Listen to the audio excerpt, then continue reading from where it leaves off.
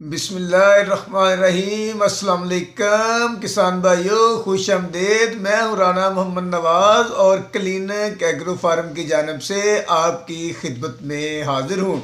जिन काश्तकार भाइयों ने गंदम की दिलकश वैरायटी काश्त की है तो उनके लिए कुछ अहम तजावीज़ हैं। आप उन पर अमल करके दिलकश वैरायटी से अच्छी और बेहतर पैदावार हासिल कर सकते हैं।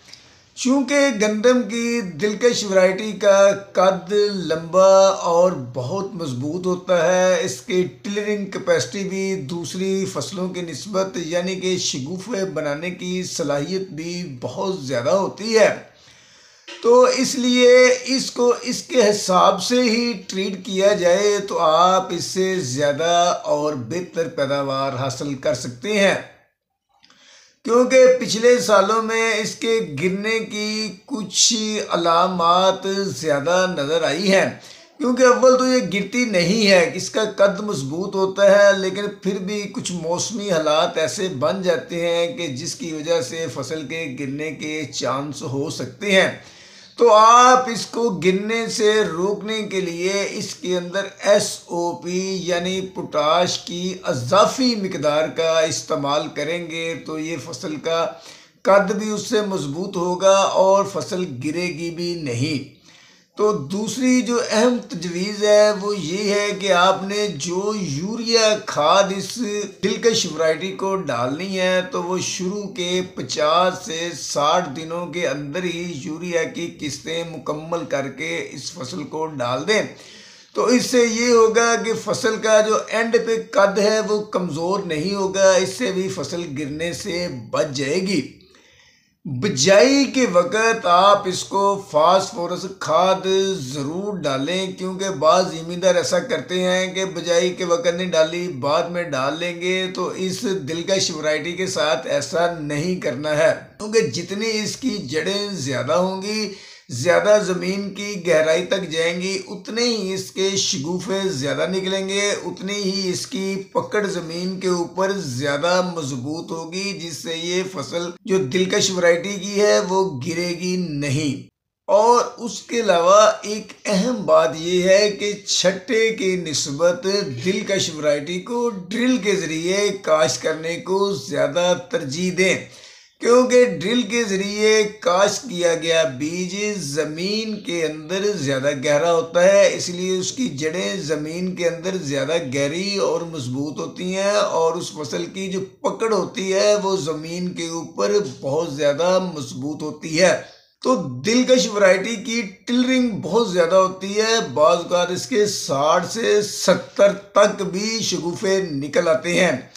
तो इसलिए आप इसके ऊपर गंदम की जड़ी बूटी मार जहर खसूस स्ट्रेस वाली जहरों का स्प्रे करें, जिससे थोड़ा सा स्ट्रेस आए और शगुफे की तादाद थोड़ी कम रहे। जो शगुफे निकल आए हैं, वही परवान चढ़ें और ज़्यादा से ज़्यादा पैदावार हासिल कर सकें।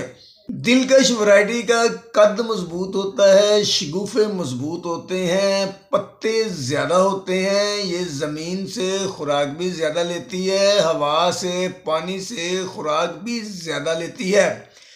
क्योंकि आखिरी वक्त जो ये सारी खुराक होती है, ये बीज जिस बनता है, फ़सल का, यानी कि जो दाना बनता है, उसके अंदर मुंतकिल होने का अमल शुरू होता है। तो जो खुराक बीज के अंतर मुंतकिल होने का अमल शुरू होता है, वो एस ओ पी के ज़रिए ही होता है। क्योंकि पोटाश जो एस ओ पी है, ये सारी फ़सल की पत्तों से, तनों से खुराक को निचोड़ कर दाने के अंदर मुंतकिल कर देती है। तो आपने जब फ़सल गोब की हालत में आ जाए तो उस वक़्त उसको एस ओ पी पानी में हल होने वाली ज़रूर डालें और उसके बाद दूधिया हालत में भी अगर एस ओ पी पानी में हल होने वाली थोड़ी थोड़ी करके 10 से 12 किलो दो किस्तों में डाल दें तो जो पौधे की, पत्तों के, तने के या जड़ों के अंदर खुराक है, वो पोटाश सारी खींच कर बीज के दाने के अंदर मुंतकिल कर देगी, जिससे आपकी पैदावार ज़्यादा हो जाएगी। जिससे सिट्टे बड़े हो जाएँगे, दाने मोटे हो जाएँगे और खुशनुमा हो जाएँगी और पैदावार में भी भरपूर इजाफा हो जाएगा।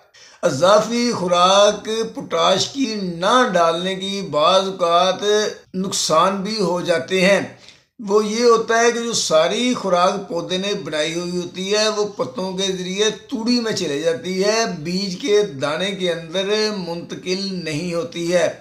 तो काशकर भाइयों, ये चंद खसूसी तजावीज़ थी जो दिलकश वैरायटी के लिए हमने आपको बताई हैं। अगर आप दिलकश वैरायटी से अच्छी पैदावार लेनी चाहते हैं तो आप यूरिया जो खाद उसको डालनी है, वो शुरू के पचास साठ दिनों के अंदर यूरिया की एक साथ मुकम्मल कर लें और अजाफी पोटाश की दो किस्तें थोड़ी थोड़ी करके डाल दें तो आप इससे अच्छी पैदावार ले सकते हैं। तो काशकर भाइयों, अगर आपको हमारी ये वीडियो पसंद आई है तो प्लीज़ इसको लाइक और शेयर ज़रूर करें और प्लीज़ हमारे चैनल को सब्सक्राइब ज़रूर करें। अल्लाह हाफिज़।